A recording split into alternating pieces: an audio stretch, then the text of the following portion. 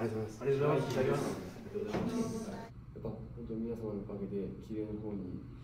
しっかり専用グラウンドができたっていうところもしっかりと自分たちの、ま、マイホームのグラウンドができたので同じところでずっと練習も望めましたし、で、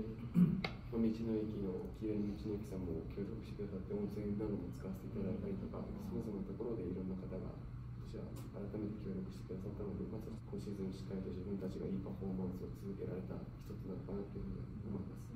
今年の大竹監督、本当に選手に常にポジティブな